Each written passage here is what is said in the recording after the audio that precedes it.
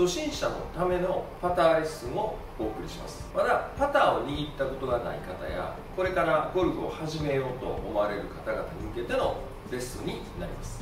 はい、では今回の動画の流れなんですけどもまず1つ目。パターの握り方グリップ。そして姿勢。アドレス。そして打ち方。ストローク。で4つ目。簡単な練習方法。で最後にまとめ。この順番でお送りしたいと思います。ではまずパターの握り方グリップから説明したいと思います。ただパターのグリップだけは様々でそのプレイヤープロでもそうなんですけどもまっすぐ打てる打ちやすい握り方あるいは距離のあの握り方。しかもパターのグリップだけは形状が細い太いいろいろあります。ですから今日は基本的にまずこれから覚えたらいいんではないかなというグリップの仕方をご紹介します。はいではグリップの説明をします。まず左手でクラブのグリップの横からを持ち左手の人差し指の下に右手の指3本を入れて押さえます。そして右手の人差し指で横からグリップを支えます、では正面からもお見せします。で先ほど言ったように左手を横からあてがって左手の人差し指の下に右手の小指から3本を入れます。そして右手の人差し指を横から押さえます。はい。では後方からもお見せします。左手を横から。そして右手も横からですけども小指から3本を人差し指の下に入れて右手の人差し指を伸ばしてこの右手の人差し指の腹でフェースを感じる。あるいはこう曲げてもらっても結構です、はい、では上から見るとこのような感じになります。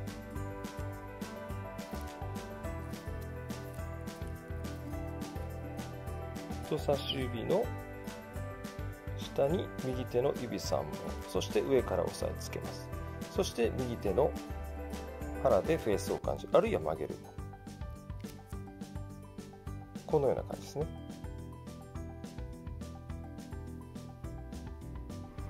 ではパターンのアドレスについてお話します。ではまず後方からお見せします。歩幅は立ちやすいように狭くても広くても大丈夫です。スイングのようにまず股関節から軽く前傾をします。そして肝心なのは両肘を脇腹につけます。そして手を合わすようにグリップします。でこの時大切なのは肘からボールクラブヘッドに向けてスライチであるこういう持ち方もあるんですけどもまずはスライチのように持っていってください。それから肘から目左目から下に水線を下ろしたところにボールがある。つまりボールから肘肘から左目。左目からボール。ここに三角形があるように後方から見えるようにアドレス。するこのようにアドレスしてください。はい。では正面からもお見せします。足を、まあ、肩幅ぐらい開いておいて股関節から前傾。そして先ほど言いましたけども両肘を両脇腹に。そして手を合わせるこのような形ですね。で左目の下にボールがこのような形です。では打ち方を簡単に説明しておきます。では先ほどのアドレスに並べて股関節から前傾します。そして左目の上に。で肝心なのは両肘を両脇腹に添えて脇を締めておく。つまり手が自由にならない。できるだけ手首を固めましょう。ということですね。で脇を締めて。で腰が左右に触れない。腰がこの位置で。そしてクラブヘッドをできるだけまっすぐに引いてまっすぐに出る。右足の先左足の先ぐらいまではまっすぐ動くように肩を動かす。お腹と背中の力を入れてつということですね。ではやってみます。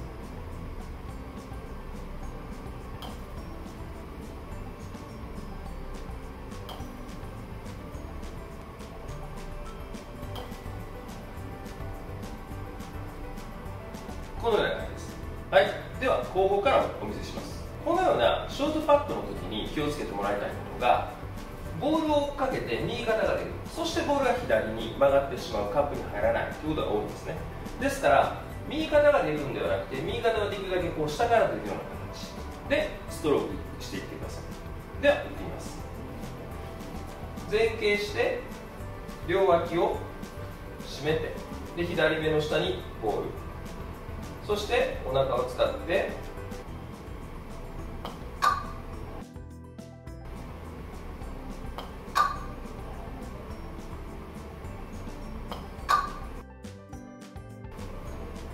このように打ちます。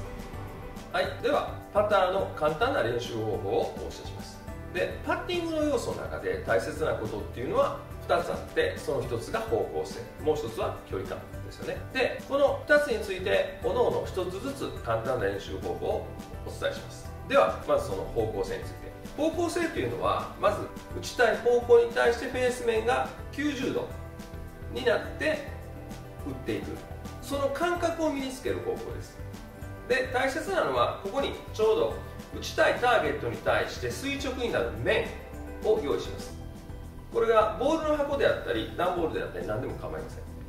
でとにかく打ちたい方向に垂直になるように面を作ります。それに対してフェース面を押し付けるだけです。この押し付け方ですけども決して手で押さない。お腹背中体幹に力を入れて少しハンドファーストになるように押し込んでいく。まっすぐまっすぐでこの時にフェース面が打ちたい方向を向く感覚っていうのをこの手の中で覚えてやってくださいこれを繰り返してやることで必ずフェース面の向きまっすぐ打ちたい方向にはこういう感覚なんだなっていうのを覚えます。これは少しずつ繰り返していただくだけでかなり正確に方向性を取れるパターンの練習になると思います。はい。ではパッティングの距離感を養うための練習方法を一つご紹介いたします。でまず例えばこれぐらいのピーマンでの距離感。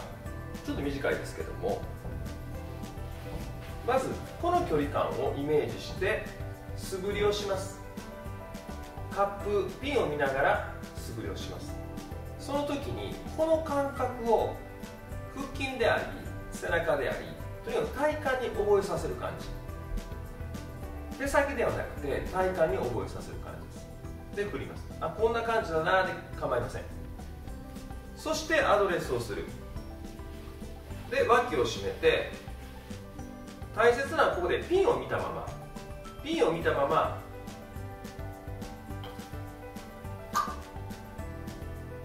打っていく。でその時にカップに入る入らないよりもピンの近くに行ったかどうか自分の距離感通り打てたかどうかっていうのが大切になります。つまりピンを見たまま素振りをしてこういう感覚だなっていうのを練習する。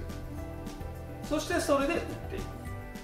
これは非常に効果的なのでやってみてください。はい皆さんいかがでしたか？今回は初心者の方に向けてパターの基本をお伝えしました。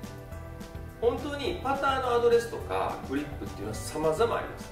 これでないといけないっていうのはないです。ですからまずベースの今回お話したのを、え、参考にしてみて始められたらなと思います。はい。では今回の動画が良ければ高評価チャンネルご登録もよろしくお願いします。それではエクセレントスイング目指してレッツ